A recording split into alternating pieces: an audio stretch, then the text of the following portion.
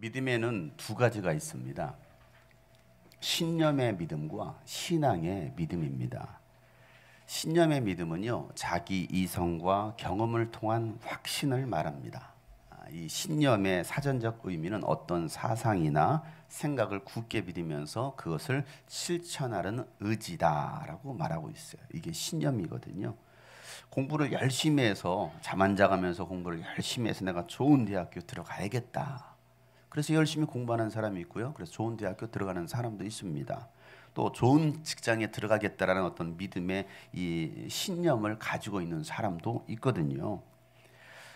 어, 과거의 경험을 통해서 현재 일어나고 있는 이 일들이나 또 미래에 일어날 일들에 대한 확신을 가지고 있는 이 믿음이 바로 신념입니다.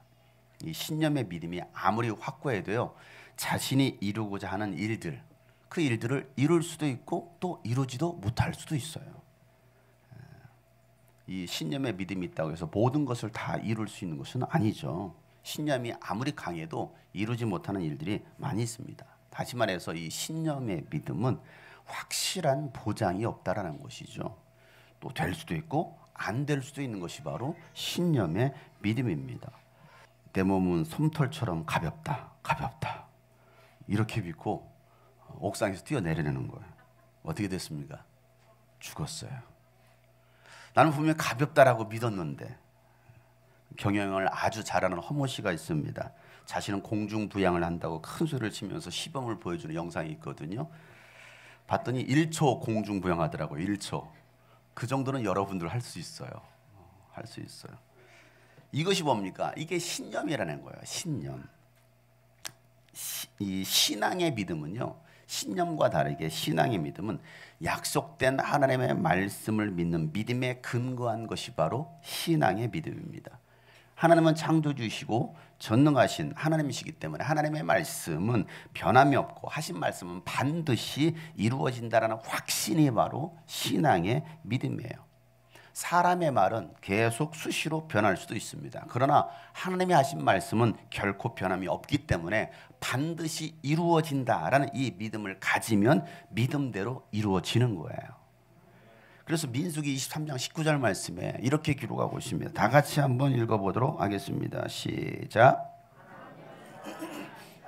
거짓말을 하지 아니하신다. 사람의 아들이 아니시니 변덕을 부리지도 아니하신다. 어찌 말씀하신 대로 하지 아니하시랴 어찌 약속하신 것을 이루지 아니하시랴 사람의 말은 바뀌지만 하나님은 사람이 아니시기에 하나님 하신 말씀을 반드시 이루고야 마신다라고 오늘 하나님은 말씀하고 있죠. 예수님도 요, 어, 마태복음 5장 18절에 이렇게 말씀하신 내가 진정으로 너에게 말한다. 다 같이 시작. 천지가 없어지기 전에는 율법은 1.1억도 없어지지 않고 다 이루어질 것이다. 천지가 다 변하고 천지가 다 없어진다 할지라도 하나님의 율법의 말씀은 결코 없어지지 않는다는 변하지 않는다는 다 이루어진다는 것입니다. 그래서 누가복음 21장 33절 말씀에도 예수님 이렇게 말씀하십니다. 하늘과 땅은 없어질지라도 내 말은 절대로 없어지지 않는다라고 말씀하시는 거예요. 예수님이 하신 말씀은 반드시 이루어진다는 것입니다. 나사로가 죽었을 때에 예수님은요 마리아와 마르다에게 야 너의 죽은 나사로가 너의 오라비가 살아날 것이다. 이것을 믿으면 너희가 영광을 보게 될 것이다 라고 말씀하셨어요. 그런데 이 마리아와 마르다는 어떻습니까? 예수님이 하신 말씀을 지금 당장 일어날 말씀으로 믿지 않는 거예요. 나중에 부활의 때 일어날 줄을 믿습니다. 라고 생각합니다. 자, 예수님의 말씀 요한복음 11장 40절 말씀 다 같이 한번 읽어보겠습니다. 시작. 예수께서 마르다에게 말씀하셨다. 네가 믿으면 하나님의 영광을 보게 되리라고 내가 네게 말하지 않았느냐. 예수님은 계속해서 말씀하시 네가 믿으면 지금 믿으면 당장 그 영광을 보게 될 것이다라고 말하지 않았느냐라고 말씀하셨지만 이 마리아와 마르다는 믿지 못하는 거예요. 아 부활의 때에 나중에 천국 가서 하나님의 영광을 보게 될지 내가 믿습니다. 그건 옳은 믿음이 아닌 거예요. 예수님은 지금 당장 이루어진다는 거예요. 당장. 여러분 이 사실을 인정하고 믿을 수 있길 바랍니다. 이 신앙의 믿음이 있으면 지금 당장 이루어진다라는 거예요. 그들의 믿음은 없음을 예수님께서는 안타까워하시죠. 그럼에도 예수님께서는 이 나사로를 살리십니다. 왜 살리십니까? 예수님이 하나님 아버지께로 오신 것을 그들로 하여금 믿게 하시려고 내가 누구인지를 알게 하고 그들로 믿게 하시려고 죽은 나사로를 살리셔요. 요한복 11장 41절 41절 말씀에 예수님께서 기도를 이렇게 하십니다. 어떻게 기도하시는지 한번 읽어보겠습니다. 시작. 사람들이 그 돌을 옮겨 놓았다. 예수께서 하늘을 우러러 보시고 말씀하셨다. 아버지 내 말을 들어주신 것을 감사드립니다. 아버지께서는 언제나 내 말을 들어주신다는 것을 압니다. 그런데도 이렇게 말씀을 드리는 것은 둘러선 무리를 위해서입니다. 그들로 하여금 아버지께 나를 보내신 것을 믿게 하려는 것입니다. 항상 하나님 아버지께서 나의 말과 기도를 들어주신 것을 나는 믿고 감사합니다. 그럼에도 불구하고 내가 이와 같이 기도하는 것은 저들로 하여금 내가 하나님 아버지께서 보내신 것을 믿게 하려고 자, 이, 이 기도는 지금 누구 들으라고 하시는 기도예요? 누구 들으라고 예수님 기도하시는 거예요? 몰라요? 방금 방금 읽었어도 몰라요? 여러분 들으라고. 믿지 않는 저들을 들으라고 예수님께서 노골적으로 기도하시는 거예요. 내가 지금 이와 같이 기도하는 것은 저들이 하나님을 믿지 않으니 나를 믿지 않으니 저들라고 믿게 하려고 들으라는 거야. 때로는 기도도요. 들으라고 기도합니다. 들으라고. 하나님 아버지 우리 문시경 제가 하면서 들으라고 노골적으로 올해는 달라지게 하시고 뭉게뭉게 피어오르는 연기를 바라보지 아니하시며 하면서 막 들으라고. 여러분들이 아멘 해주시네. 그런 역사가 일어나길 소망합니다. 우리 문시경제만 아멘을 하네요. 문시경제 아멘? 아멘을 해야 되는데 아, 그러고 있어요. 문시경제님 눈물을 회개하고 있어요. 아멘 애들이 다 보고 있잖아 지금. 아멘? 왜 너한테 그러세요? 그럼 누구한테 얘기해요 내가 지금? 민결이가 보고 있습니다. 아멘. 네, 아멘 했어요. 지켜야 되는 거야. 지켜야 되는 거야. 박수까지 받네. 네가 믿음의 영광을 보리라. 믿음의 영광을 보리라. 온 세계로 지금 이게 공중파 방송 나갔으니까 약속을 지켜야 돼요. 이게 믿음을 주는 아버지의 모습인 거예요. 믿음을 주는 아버지. 여러분, 예수님이 하나님 아버지께로 온 것을 믿고 예수님의 말씀을 믿으면 죽은 나사로가 살아나는 영광을 보게 되는 겁니다. 영광은 꼭 죽고 난 다음에 하나님 나라에 가서 천국 가서 볼 수 있는 것이 아니에요. 하나님 우리로 하나님의 영광을 보여주세요. 우리는 그렇게 기도하죠. 그런데 사실적으로 예수님의 말씀을 믿고 있느냐? 우리가 하나님의 말씀을 하나님으로 인정하고 믿으면 하나님의 영광이 내 삶 속에서 나타나는 것입니다. 말씀은 하나님이셔요. 태초에 말씀이 계시니라 이 말씀이 하나님과 함께 계신 이 말씀이 곧 하나님이시다라고 말씀했기 때문에 우리 신앙은요 말씀에 근거한 믿음이 되어야 되는 것입니다. 공부를 많이 한 어떤 신학자나 훌륭한 목회자나 유명한 사람의 말이 우리의 믿음이 될 수 있는 것은 아니에요. 누가 말하기를 어느 신학자가 말하기를 어느 목사님이 말하기를 그들이 말했던 무슨 우리에게 무슨 유익이 있습니까? 우리의 믿음은 오직 하나님의 말씀에 근거해야 됩니다. 우리의 믿음은 예수 그리스도의 말씀에 근거해야 되는 거예요. 히브리서 4장 12절 말씀에 하나님의 말씀은 살아 있고 힘이 있어서 어떤 양날 칼 양날 칼날보다도 더 날카롭다라는 것입니다. 그래서 사람 속을 꿰뚫어 또 영, 혼과 영을 갈라내고 관절과 골수를 갈라놓기까지 하여 마음에 품은 생각과 의도를 다 밝혀내는 것이 바로 하나님의 말씀이라는 거예요. 여러분 그래서 우리가 말씀을 가까이 하면 하나님을 가까이 하게 되는 거예요. 내가 하나님을 가까이 하고 싶다. 어떻게 하면 되느냐? 말씀을 가까이 하면 되는 거예요. 그러면 왜? 말씀이 하나님이시기 때문에. 말씀을 가까이 하지 않아요. 말씀을 읽지도 않아요. 듣지도 않아요. 보지도 않아요. 하나님을 가까이 하지 않는 것이죠. 하나님을 가까이 하기를 원하신다면 말씀을 가까이 하시길 바랍니다. 그렇게 하나님을 가까이 하면 복을 받는다라는 것이죠. 시편 73편 28절 말씀에 다 같이 함께 읽겠습니다. 시작. 하나님께 가까이 있는 것이 나에게 복이니 내가 주 하나님을 나의 피난처로 삼고 주님께서 이루신 모든 일들을 전파하렵니다. 아멘. 하나님을 가까이 함이 나에게 복이 된다라는 것이죠. 말씀을 가까이 함이 나에게 복이 된다라는 거예요. 여러분 신념의 믿음은요 언제든지 환경에 흔들릴 수 있어요. 그러나 이 신앙의 믿음은요 어떤 시련이 와도 흔들리지 않습니다. 왜? 약속의 말씀에 약속한 이 말씀을 근거로 했기 때문에 왜? 이 말씀은 변하지 않으니까 나는 이 말씀을 믿습니다. 하나님이 하신 말씀을 믿습니다. 그러면요 이루어지는 거예요. 베드로가 예수님의 말씀을 의지하여 물을 물로 뛰어내렸을 때는요 물 위를 걸을 수가 있었어요. 그런데 그가 뭐합니까? 출렁이는 파도를 봅니다. 좀 전에는 예수님의 말씀을 의지하여 물 위로 물 위로 뛰어들었는데 그래서 물 위를 걸을 수 있는데 지금 내 앞에 펼쳐진 게 무엇입니까? 어 출렁거리는 파도가 있네. 그걸 보자마자 물에 빠져드는 거예요. 신앙의 믿음이 무엇으로 바뀐 거예요? 신념으로 바뀐 거예요. 현실로 바뀐 거예요. 상황으로 바뀐 것입니다. 자기 생각, 자기 감정, 자기 경험, 자기 이성이 결국은 그로 하여금 넘어지게 한 것입니다. 물로 빠져들게 만든 거예요. 여러분은 신념의 믿음이 강하십니까? 신앙의 믿음이 강하십니까? 이게 계속 왔다 갔다 하거든요. 우리 신앙생활 하면서도 살아가면서도 계속 왔다 갔다 합니다. 신념이 강할수록 이 신앙의 기복이 굉장히 시, 심한 거예요. 왜? 신념이 강하니까. 이랬다 저랬다 하는 거예요. 초월 때는 아 했다가 뭐 하면 금방 낙심하시고 쓰러져 버립니다. 왜? 신념이 강하니까 그래요. 이 신념의 믿음으로 살아가면요. 교회 생활하는 사람들은요. 언젠가는 떠납니다. 교회에서 떠나고요. 믿음에서 떠나버립니다. 그러나 이 신앙의 믿음으로 신앙생활하는 사람들은요. 말씀 위에 더욱 굳게 세워집니다. 그런 시련들이 찾아와도 비바람이 몰아쳐도 그냥 굳게 세워지는 거예요. 굳게.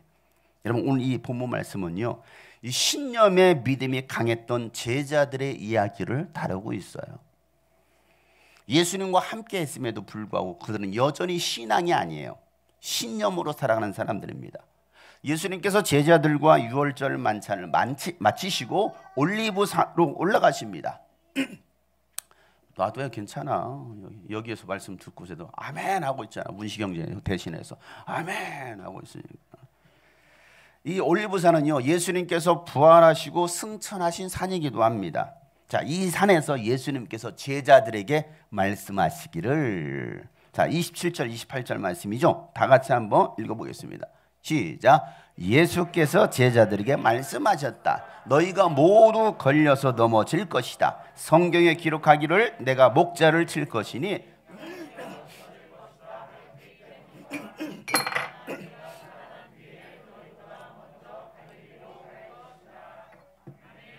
자, 예수님의 제자들이 뭐라고 말씀하십니까? 너희가 모두 걸려서 넘어질 것이다. 라고 말씀하십니다. 그 근거를 성경에 두고 말씀합니다. 성경에. 내가 목자를 칠 것이니 양떼가 흩어질 것이다라고 예언된 스가랴 선지자의 말씀을 예수님이 인용하시는 거예요. 자, 스가랴 13장은요. 그날이 오면으로 시작합니다. 그날이 오면. 이 그날이 무엇입니까? 심판의 날이기도 하고 회복의 날이기도 해요. 누군가에는 그날이 심판의 날입니다. 누군가에게는 그날이요 영생의 날이에요. 오늘 이 자리도 동일하게 그날이 올 거예요. 어떤 사람은 할렐루야 할 사람 있는 성감이 어떤 사람은 슬피 울며 이를 갈 그날이 될 거라는 거예요. 자, 그날이 오게 되면 내가 목자를 칠 것인데 양떼들이 흩어질 것이다 라고 말씀하신 그날 자 스가리아 13장 7절 말씀인데요. 한번 다 같이 한번 읽어보겠습니다. 시작. 가라 깨어 일어나서 내 목자를 쳐라 나와 사이가 가까운 그 사람을 쳐라. 나 만군의 주가 하는 말이다. 목자를 쳐라. 그러면 양떼가 흩어질 것이다. 나 또한 그 어린 것들을 칠 것이다. 라고 말하고 있습니다. 오늘 예수님에 대해서 지금 예언하고 있는 거예요. 그 목자를 치라는 거예요. 그러면 뭐, 한, 뭐 것이죠? 양떼가 다 흩어질 거라는 거예요. 하나님의 아들이 죽는 날이 오면 예수님이 죽는 날이 오면 양떼들은 다 흩어질 것이다 라고 이 스가랴는 예언합니다. 그리고 그 심판의 날에 하나님은 3분의 1을 죽이시겠대요. 3분의 1을 죽이고 3분의 1은 시험하시겠다라고 말씀하십니다. 우리 지난 시간에 지금 어느 때인지를 우리가 분별해야 된다고 말했습니다. 때를 알아야 된다라고 했어요. 때를 알아야 된다. 지난주 말씀 굉장히 중요한 말씀이라고 했어요. 다시 들어보세요. 지금이 어느 때인지를 분별할 수 있어야 돼. 자, 8절부터 9절 말씀이 스가랴 13장 8절부터 9절 말씀인데요. 한번 읽어 보겠어요. 시작. 내가 온 땅을 치면 3분의 2가 멸망하여 죽고 3분의 1만이 살아남게 될 것이다. 나 주가 하는 말이다. 그 3분의 1은 내가 불 속에 집어넣어서 은을 단련하듯이 단련하고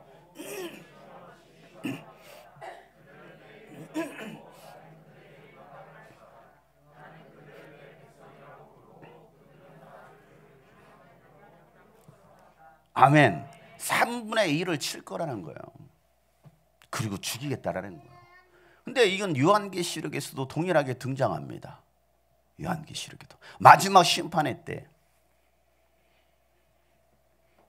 하나님을 믿는다고 하는 사람을 뭐 하겠다라는 거예요? 불 속에 집어넣어서 은을 단련하고 금을 단련 시험하듯이 시험하겠다. 누구를요? 오늘 믿는다라고 말하는 그들을 시험하시겠다라는 거예요. 그래서 진짜와 가짜를 걸러내시겠다는 것입니다. 알곡과 쭉정이를 갈라내시겠다는 거예요. 그런 불시험 속에서도 하나님의 이름을 부르는 자에겐 하나님께서 응답하시면서 그들을 내 백성이라고 말씀하시겠다는 거예요. 여러분 그 불연단을 통과할 수 있는 여러분 되시길 바랍니다. 빈 껍데기에도 홀라당 타버리는 그런 쭉정이 신앙이 아니라 끝까지 살아남을 수 있는 창고에 창고에 집어 넣을 수 있는 알곡 같은 신앙이 되시길 주님으로 축복합니다. 주님께서 여러분을 보시고 너는 내 백성이구나. 너는 내 자녀구나. 라고 말할 수 있는 그 시험을 통과한 사람들. 많은 사람들이 시험이 찾아오면요 예수님을 부인하고 떠나갑니다. 조금만 어려움이 찾아와도 견디지 못합니다. 그냥 원망하고 불평하고 의심하면서 떠나는 거예요. 어떤 상황이 펼쳐지면 예배 생활 하지 못해요. 기도 생활 하지 못합니다. 하나님의 이름을 부를 만한 믿음이 없는 거예요 그 시험이 왔을 때 하나님의 이름을 부른다고 했잖아요. 그들은 통과한다라는 거예요. 그 시험이 오면 하나님을 찾아야 되는데 하나님을 찾지 못해요. 평소 세상의 것들을 찾고 불렀지 하나님의 이름을 의지하지 않았다라는 거예요. 세상의 것들 돈을 의지합니다. 부모를 의지합니다. 형제를 의지합니다. 세상 권력을 의지했던 사람들 뭘 내가 찾느냐? 평상시에 내가 뭘 부르고 있느냐고요. 늘 하나님의 이름을 찾고 예수 이름을 의지해야 되는데 그렇게 하지 않았다라는 것이죠. 보이는 현상만을 따랐지 예수님을 하나님의 아들로 믿지 않는 겁니다. 교회는 다녔는데 많이 함께 신앙생활 했던 사람들 이 자리에 없어요. 지금도 없잖아요. 어디 갔을까요? 많은 사람들이 신앙생활 함께 하지만 다 떠나요. 다 떠나요. 왜? 세상을 의지하는 거예요. 신념의 믿음으로 살아가려고 하는 거예요.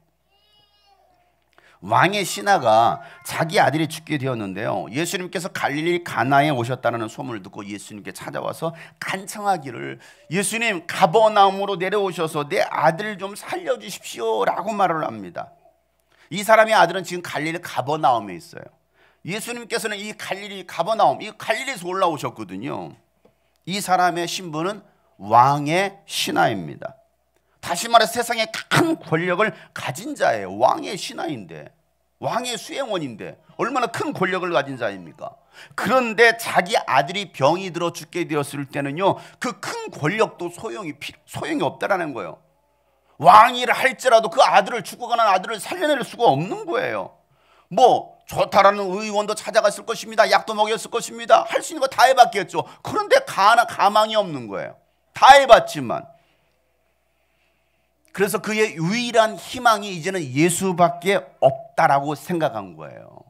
예수밖에 없다. 예수님이라면 살릴 수 있다라는 이 믿음이 있었기 때문에 예수님을 찾아와서 간청하는 거예요. 누가? 왕의 신하가 자신의 권력도 체면도 다 내려놓고 이제는 그 예수님 앞에 엎드려서 뭐라고 말합니까? 요한복음 4장 48절 말씀 다 같이 한번 읽어보겠습니다. 시작. 예수께서 그에게 말씀하셨다. 너희는 표징이나 귀한 일들을 보지 않고는 결코 믿으려고 하지 않는다. 예수님 오셔서 내려오셔서 갈릴 가버나무 내려가셔서 내 아들 좀 살려주세요라고 말했더니 오늘 예수님이 이와 같이 말씀을 하시는 거예요. 사람들은 신비한 표징을 구한다라는 것이죠. 신비한 기적들, 신비한 기이한 일들이 일어나는 것을 보면 믿겠다라고 말합니다. 그러다가 뭐 합니까? 그런 장면들을 봤을 때 교회도 열심히 다녀요. 유스비전 캠프 참석하고 한동안은 교회 열심히 다닙니다. 그런데요, 그런 표징이나 기이한 일들이요 일어나지 않으면요, 자기 눈앞에 다시 일어나지 않으면요, 뭐 합니까? 교회와 멀어지는 거예요. 또 다시 교회를 떠납니다.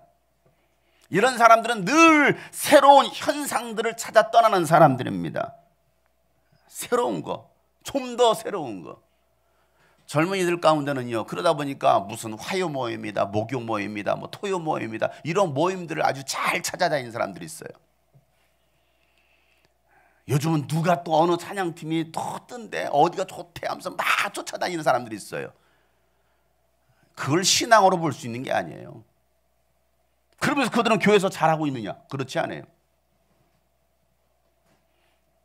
현상 기이한 현상들 그런 표징들을 쫓아다니는 사람들. 너희들은 이러한 것들을 구하고 있구나. 좀처럼 나를 믿지 않는다라는 거예요.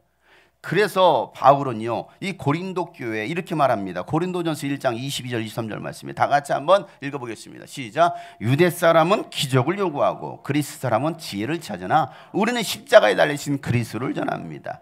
그리스도가 십자가에 달리셨다는 것은 유대 사람에게는 거리낌이고 이방 사람에게는 어리석은 일입니다. 여러분 제가 전하는 것은요. 이 십자가에 달리신 예수 그리스도밖에 없어요. 제가 전할 것은 오직 십자가에 달리신 예수 그리스도, 부활하신 예수 그리스도. 예수 외에는 저는 저는 전하지 않는 거예요. 그런데 사람들은요, 이 예수를 받아들이려고 하지 않습니다. 아니, 목사는 맨날 예수님 얘기해요? 예수님 이야기 말고 좀 새로운 거 없습니까?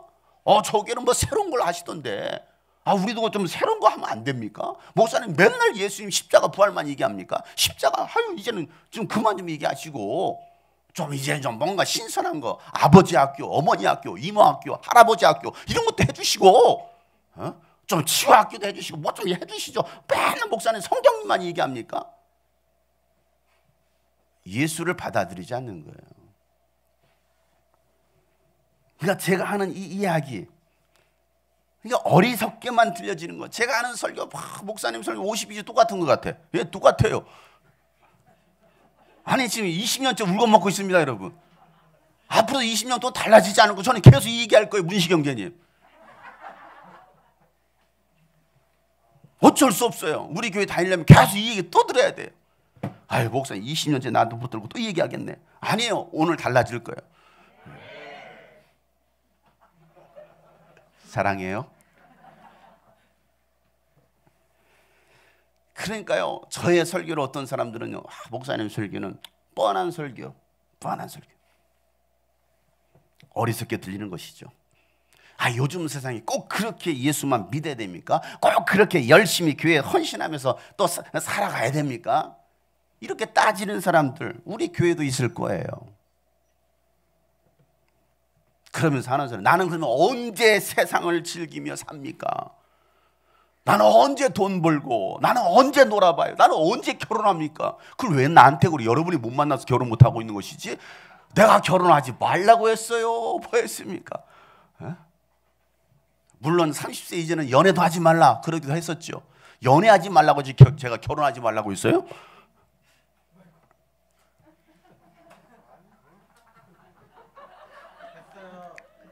에? 뭐 했다고 내가? 뭔 결혼하지 말라고 했어? 결혼해야지. 이제 서른 넘었으니까 결혼해야지. 그래서 드디어 결혼합니다. 우리 진호 형제가 2주 후에. 예, 축하해요. 미래 축하해요. 미래 축하해. 쓸쓸한 뒷모습을 찍지 마시고. 우리는 언제 즐겨봅니까? 맨날 그러고 있어. 그렇다고 신앙생활 제대로 하는 것도 아니면서.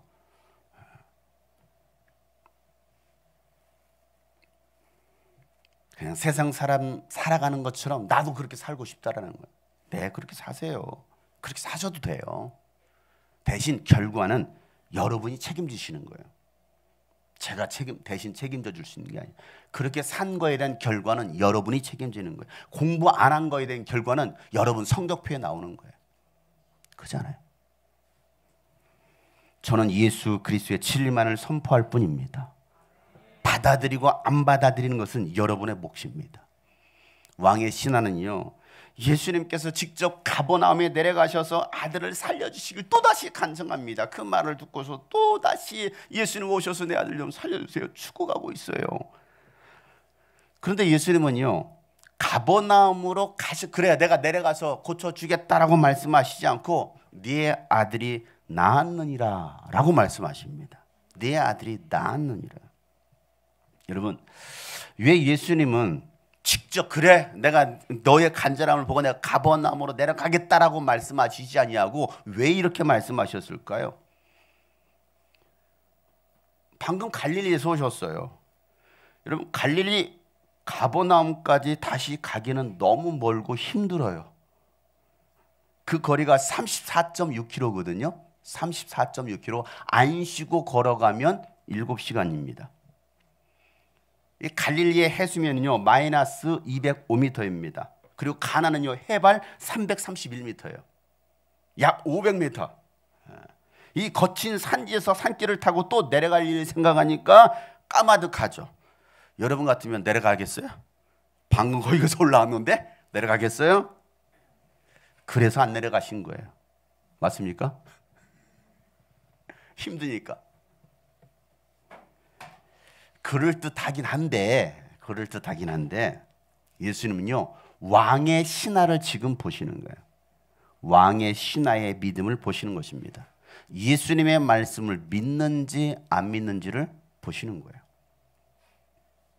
내가 꼭 가서 고쳐줘야 돼? 아니면 내 말을 믿을래? 오늘도 마찬가지죠.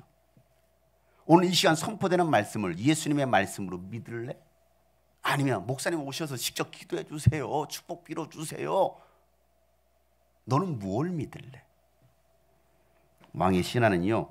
예수님의 말씀을 그대로 믿고 가보나움으로 내려갑니다. 요한복음 4장 50절 말씀인데요. 다 같이 한번 읽어 보도록 하겠습니다. 시작. 예수께서 말씀하셨다. 돌아가거라. 네 아들이 살 것이다. 그는 예수께서 자기에게 하신 말씀을 믿고 떠나갔다. 돌아가라.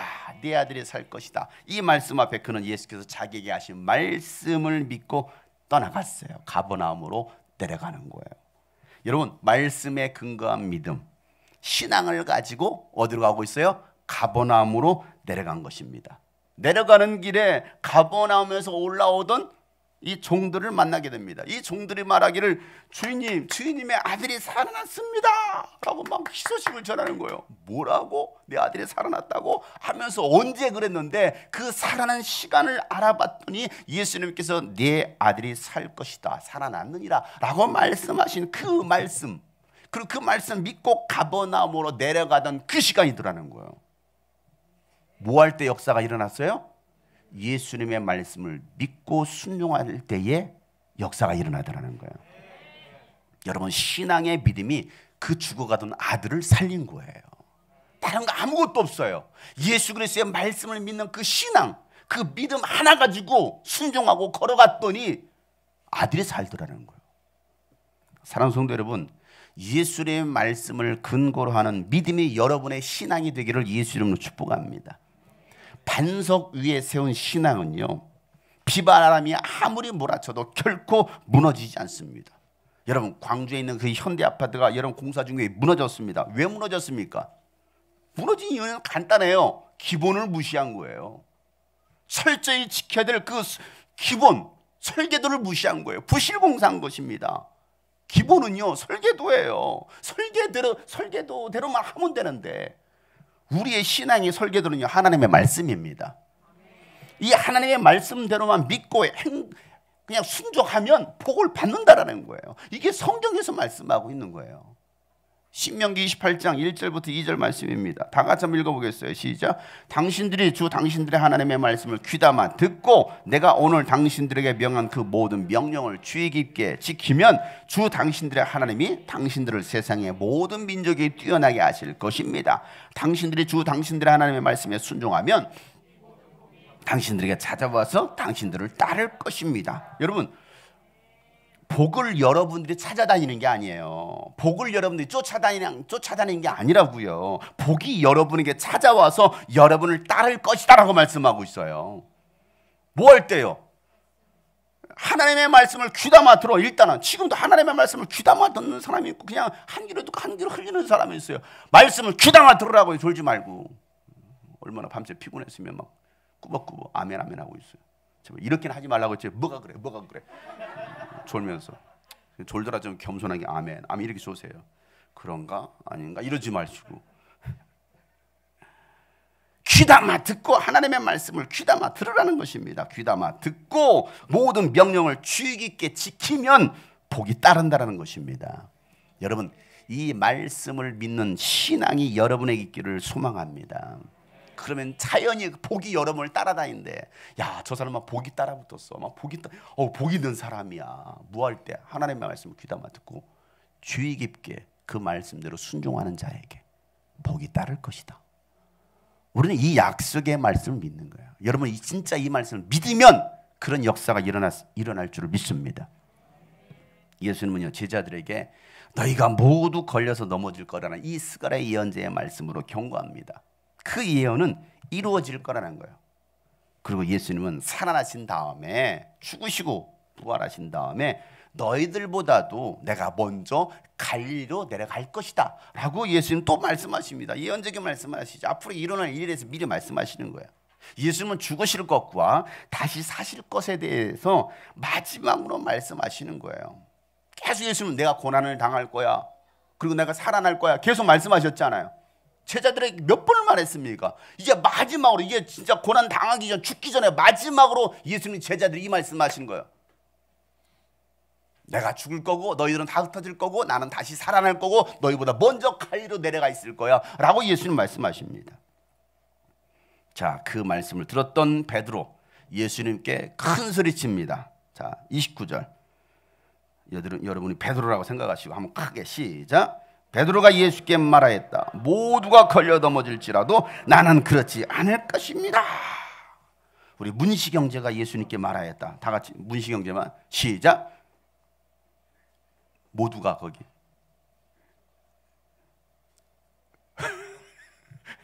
성경도 안 읽어요? 여러분이 다 걸려 넘어져도 본인 안 넘어진대. 본인 안 넘어진다 확신 가지고 얘기하잖아. 오늘 문시경제가 주인공이니까 예. 다시 한번 문시경제만 시작.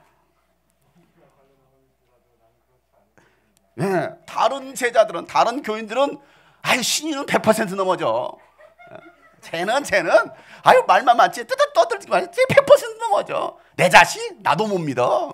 그런데 말이야 나는 절대 안 넘어질 겁니다.라고 지금 큰 소리 치고 있는 우리 문식드로 문식드로 예. 큰 소리 치죠.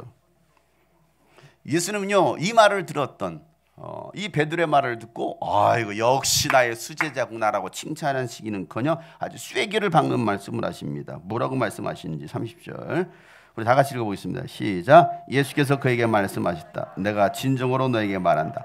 오늘 밤에 달기 두 번 울기 전에 네가 세 번 나를 모른다고 할 것이다.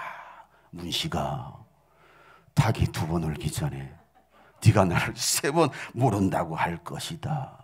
라고 말씀하시는 거예요. 어, 난 칭찬 들을 줄 알았는데 왜 예수님이 저렇게 말씀하시지? 여러분 닭이 두 번 우는 시간은요 새벽이 가까웠다는 거거든요. 그 말은 예수님이 새벽까지 고난을 당하신다는 거예요. 새벽까지. 그러고 나서 뭐 한다는 거예요? 세 번씩 예수님을 모른다라고 말할 것이다.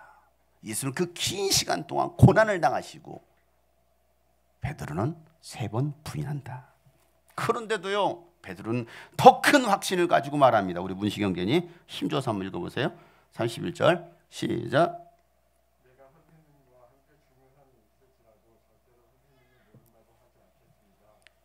힘줘서 하라 했더니 힘 빠져 있어 지금. 힘줘서 아 무슨 말인가 선생님과 내가 죽을지언정 나는 절대로 선생님 모른다 할 것입니다 했더니 나머지도 다 뭐 했다고요? 모두도 모, 모두도 그렇게 말하겠다. 이렇게 말합니다. 모두가. 여러분도 우리도 절대 죽지 않을 우리도 절대 떠나지 않을 겁니다. 라고 여러분들이 말하는 거예요. 예수님과 함께 죽는 한이 있을지라도 절대로 나는 선생님을 모른다고 하지 않겠습니다. 모든 제자들도 똑같이 말합니다. 여러분 그런데 결과는 어땠어요? 결과는 예수님의 예언대로 되었어요. 예수님의 예언대로. 왜 그런 일이 일어났을까요? 뭐 스가랴 선지자가 예언했으니까? 뭐 예언했으니까. 그런 상황이 올 것을 이미 예언했잖아요. 예수님도 아시잖아요. 왜 그랬을까요? 그들은요. 성령에 의한 믿음이 아니었던 거예요. 그들이 가지고 있었던 것은 뭡니까? 신념이에요. 신념. 신념. 신념에 대한 확신입니다. 예수님의 말씀이 흔들리지 않으려면 우리 안에 성령님이 계시고 충만함이 있을 때 여러분 어떤 상황 속에서 우리는 흔들리지 않을 수 있는 것입니다. 그런데 이 베드로뿐만 아니라 다른 제자들은 성령을 받지 않았어요.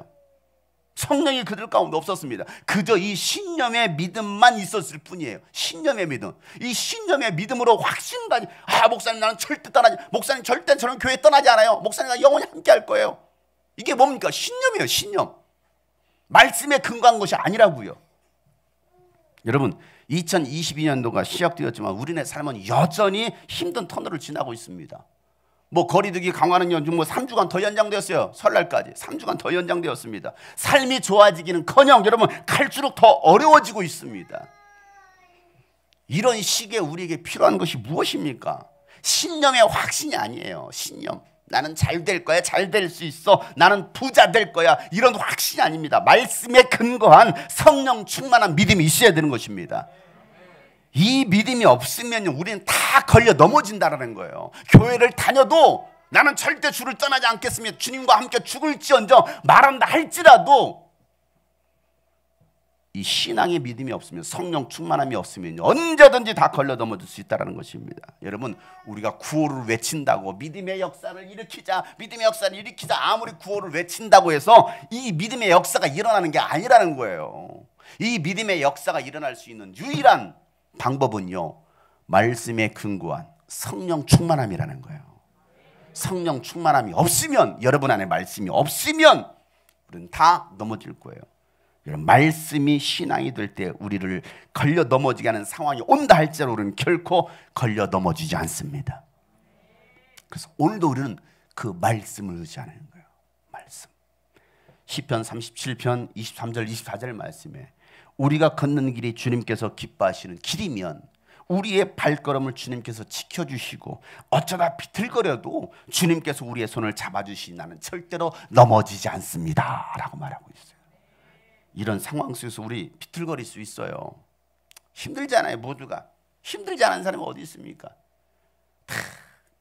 여러 가지 시련들, 비바람, 폭풍 흔들거린다니까. 그러나 결코 넘어지지 않는 호랑나비처럼 아싸 호랑나비 넘어질 것 같은데 안 넘어지는 여러분 결코 넘어지지 않는다는 것을 기억하시길 바랍니다. 뭐 할 때? 말씀을 의지할 때. 말씀이 여러분의 믿음이 될 때. 그러면 넘어지지 않는다. 이번 주 금요일과 토요일에는 2022년 겨울 유수비전 캠프가 진행이 됩니다. 뭐 상황 나아진 거 없어요. 상황은요 더 좋아지지 않았어요. 상황은 더 나쁩니다. 그래도 제가 유수비전 캠프를 멈추지 않는 이유는요. 말씀만이 우리 영혼을 살게 하기 때문입니다. 우리가 하나님의 성소로 들어가는 예배만이 우리의 영혼과 교회를 회복시키기 때문입니다. 여러분 신념으로 살아가면요. 처음에는 잘 되는 것 같아요. 처음에는 여러분의 인생이 잘 풀리는 것 같습니다. 오, 잘 되네. 오, 잘 되네. 그러나 여러분, 이 신념의 믿음의 결국에는요, 멸망의 길밖에 없습니다. 다른 길은 없어요. 그러나 신앙의 믿음으로 살아간다면 여러분의 인생을 하나님께서 책임져 주십니다. 여러분 이번 캠프가 우리 영혼을 다시 살게 하고 한국 교회를 깨우고 다음 세대들이 하나님의 비전을 찾는 시간이 될 것입니다. 살아계신 하나님을 만날 수 있는 이 은혜의 자리에 우리 주님이 꿈꾸신 교회 성도들의 적극적인 참여가 있기를 간절히 소망합니다.